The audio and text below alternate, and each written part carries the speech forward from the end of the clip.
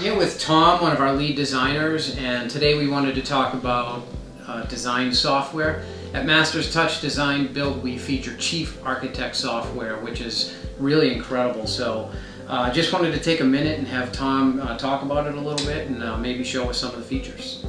Great. Uh, so the thing with Chief Architect is um, it's great for doing as-built plans as well as additions. Yep. Um, it's it's fully functional as far as framing, underlayment, all of the structural necessities needed for plans. Right. But it also creates a visual rendering for the client Right. and for the designers as well to create a functional plan set for the town as well. So with a software like this, we're really saving client money because we're uh, doing all of the mechanicals, framing plans, materials list, and we're doing that at the same time that we're really doing the modeling and the 3D rendering for the client. Exactly. So so you're able to create a comprehensive materials list based on these plans, Right. um, which are fully manipulatable, um, and and that that creates a, a more balanced and accurate estimate Sure. as the job goes on. But the design elements are also being put in as Right. the job goes on. So it's very Yeah, that's- multifunctional. Right. I'm taking this exact siding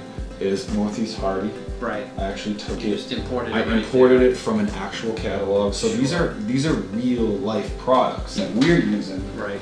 in the design build firm, Right. and we're putting them directly into the model, and then we're exporting them into Right. materials. So that's one really cool feature of Chief is that uh, if we have a granite we want to use for countertops or a, typical or a, uh, atypical type of siding, we can import the graphics quality of that product into the Chief and show it in a rendering.